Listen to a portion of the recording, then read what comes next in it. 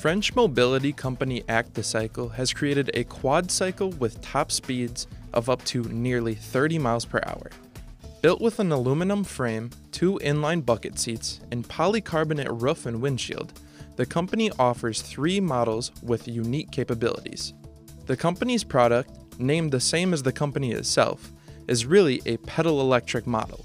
Utilizing the power of the driver pedaling, the push is then augmented through an electric motor. With the help of a 250 watt Valeo motor, the electric assisted base model can reach speeds of up to 16 miles per hour. The model above it in the lineup jumps to 750 watts, reaching speeds of 28 miles per hour. Acticycle's top model foregoes the chain drive of the other models for a pedaling energy recovery system, or PERS, electric drivetrain. Recovering energy from rider input, the system incorporates two motors that provide a combined 4,000 watts. The speeds are electronically limited to 28 miles per hour, but torque is boosted to allow for the climbing of low sloped hills.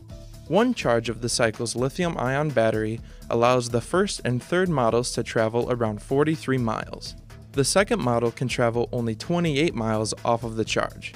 All three models, however, can accommodate total weights of about 661 pounds, while weighing in at 220 pounds themselves.